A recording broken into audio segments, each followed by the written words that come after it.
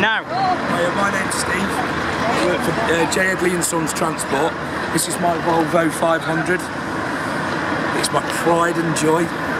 Absolutely love it. I've worked for J. Headley and Sons now for the best part of three, yeah, three, four years. Every day's a challenge.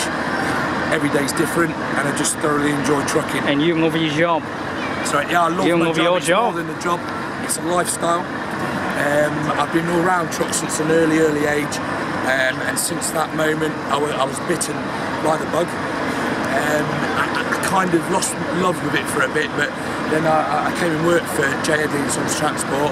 Absolutely fell in love with it, um, and it's just my life. It's in my blood. Um, I have something embroidered in the centre of my cab. Find a job you'll love and you'll never work again.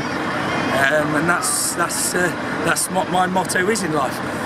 So Well, I must say that is a good one, Steve. I must say. So, uh, and there it is, viewers. There's his beautiful Volvo.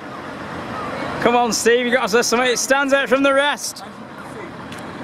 this, this particular wagon is 2013. Um, the wheels itself are, are about about eight years old, but the, obviously we keep them in pristine condition. It's all about looking after your kit. You can see the chassis as well. Uh, and we mainly do uh, building sites um, and, things like that. We'll believe it or not. I mean, half seven tomorrow morning, this vehicle will be on a building site. But probably half seven tomorrow night, it'll be clean again. That's the way it should be, Steve. yeah, yeah, definitely, definitely. It's the way it should be, isn't it? Yeah, this is first 500. And that concludes the uh, in- the interview, I guess. We'll have more from Steve Sandell and his boss Graham Henley at Truckfest Northwest next month. Enjoy this interview.